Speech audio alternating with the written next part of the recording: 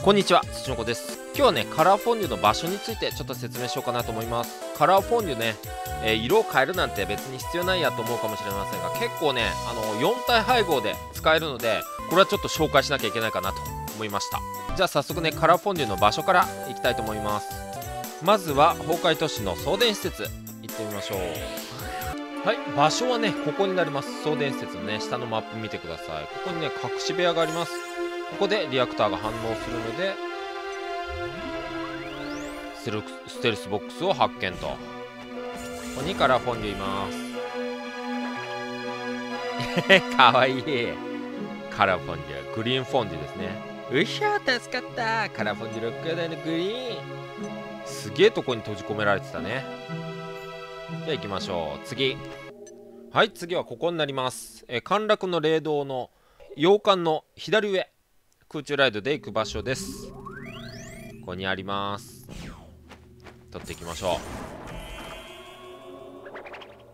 う。はい出ました。ベローン。カラフォンジロックガーダのブラック。はい場所ここですね。水の中に入らなきゃいけません。ここに赤い印があると思いますがそこに向かっていきましょう。兄弟王イカを使ってます。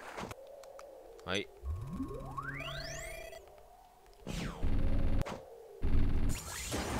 でここにカラフォルンちゃいます。ブルー。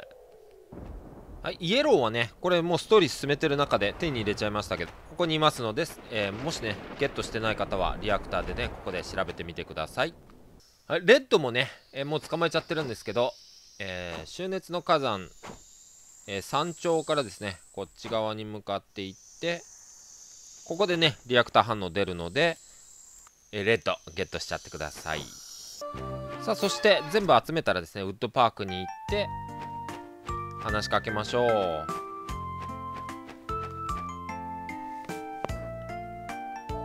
よく来てくれた。君のおかげで勢ぞろいだ。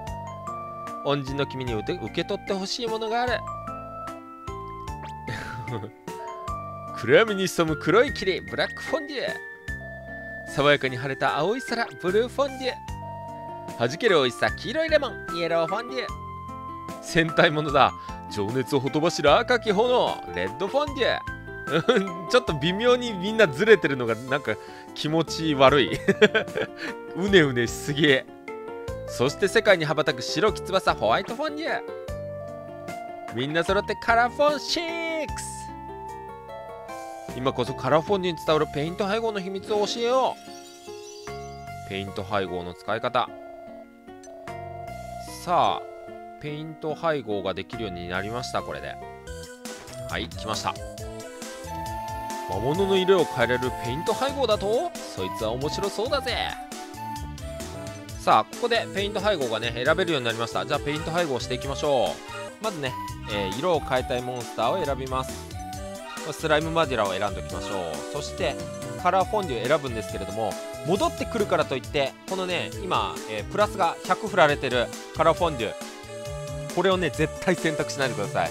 僕ねさっきやってしまって帰ってきた時にペイント配合の場合はね帰ってきた時に、えー、そのモンスターのプラス値を引き継ぐので、えー、プラス99からねプラス13に減ってました。なので今ね一旦消去して、えー、取り直してるんですけどなので、えーえー、なのでね、えー、プラス33とか適当なやつを使ってください。はい行きます。で、え、ペイント配合します。でここでペイント配合したら、え、カラーフォンデュなくなるんですけども全然ね問題ありません。後から帰ってきますので心配しないでください。さあそしたら配合をやっていきましょう。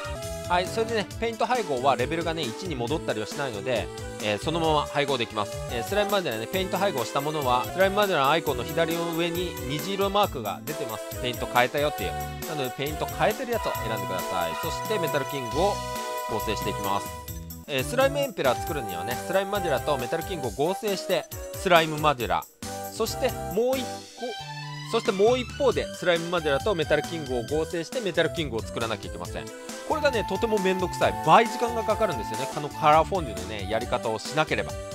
なので僕ねスライムマデュラを4体用意してたんですけれどもこれができるということで。で今ねスライムマデュラとメタルキング合成してどっちかにするんですけれどもこれ見てもらったら分かるように完成の完成するモンスター、えスライムマジラにしちゃった場合、えカラーフォンデュがねそのまま残っちゃうんですね。左上に、え虹のマークが出てます。なので同じモンスター。なのでカラーフォンデュを合成した同じモンスターに4体配合としてね、え使う場合は必ずね別のモンスターに変えてください。そうじゃないとカラーフォンデュが返ってきません。そのモンスターのねカラーを取ってしまったらカラーフォンデュはね手元に戻ってきます。さあそれじゃあメタルキングにしていきましょう。ここはねもうメタルキングじゃなきゃいけません。他のモンスターに変わるんだったら大丈夫です。はいここで、えー、カラーフォンデュがね戻ってきます。そしてさっきねカラーフォンデュがプラス33だったと思うんですけども、えー、ちょっと見ててください。はいカラー、えー、カラーフォンデュがね戻ってきます。戻ってきた時にねメタルキングの、えプラス値を引き継いで、えプラプラス52にまあ今回はね上昇しましたけどえプラス99だった場合は下がってしまいますので、え、そこはね注意してください。さあそしてねこのカラーフォンデュ、えー、配合履歴をちょっとね見ていきたいと思います。はいちゃんとね両親を引き継いでるカラーフォンデュなんですよね。しっかり過去が残ってるわけでございます。なのでこのカラーフォンデュと今度はねメタルキングを配合していきましょう、えー、今ねレベル上がってないんですけど、まあ、ここでね結果が見れるのでここでね終わろうと思うんですがカラーフォンデュとメタルキング配合するとちゃんとスライムエンペラーになれると。ということで、えー、4体配合でね今までかかった時間がカラーフォンデュを使うことによって半分の時間で済むと。モンスター全部半分いらなくなるってことですね。なのでこのペイント配合をしてさらにカラーフォンデュと、えー、くっつける。そしてさらにねこれスライムエンペラー出来上がったらカラーフォンデュは戻ってきますから。もちろんプラス99の状態で。カラーフォンデュはね基本的にいなく基本的にいなくなりません。なので、まあ、何体あってもいいんですけど1体あったら、まあ、十分かなという感じです。そしてねカラーフォンデュは特性非常にいいものついてます。全ガードプラスとかね、えー、なかなか持ってるモンスターいないので合成して特性を引き継ぐのもいいと思います。